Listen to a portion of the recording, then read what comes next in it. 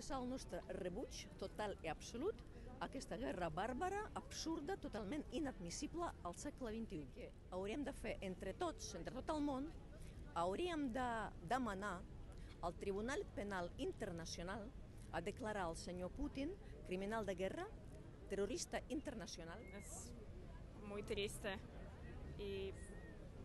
No normal, es no... em, yo no pienso que en este año, eh, 2022, n- Sí, es, posible solución. esta situación porque es, es no normal. Sí. Y sí, tengo una familia en la Ucrania y es muy triste y no podemos hablar con él sobre este tema porque es muy triste. Y Eu não sei.